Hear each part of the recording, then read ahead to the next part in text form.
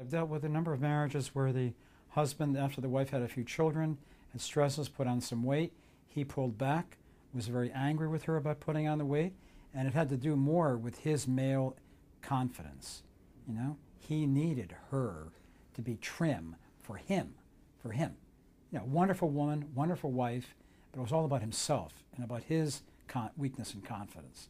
And some of these men I worked with, I try to work with them thinking it's not easy, but with trying to build their confidence and thinking you can't let your confidence be totally based on how your wife looks right now. You want to be loving to her.